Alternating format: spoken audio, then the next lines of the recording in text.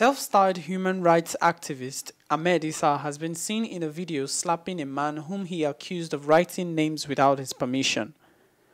Popularly known in Abuja as Ordinary President, Isah hosts the popular Brekete family shows which air on Human Rights Radio 101.1 in Abuja.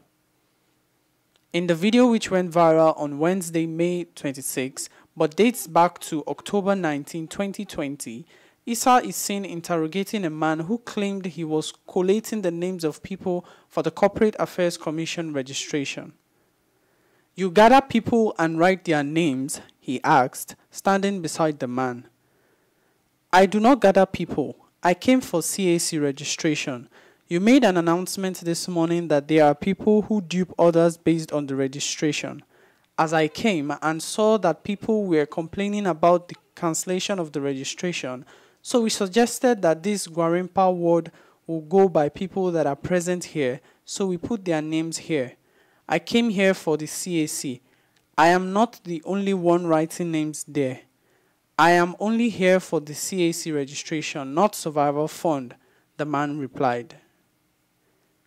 Isah then struck the man in the face and asked, Who commissioned you to write their names? Do you work for the CAC or presidency? Or chairman of the local government who sent you. At the end of the video, Isah said, My apologies to all of you, to everyone watching all over the world. I am but a human being. I got provoked. I got angry because of what happened.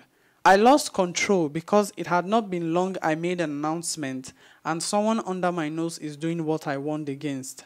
I could have even pitied someone from afar but he summoned the courage.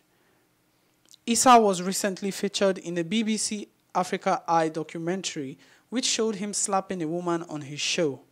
The woman allegedly set her niece on fire after accusing her of being a witch.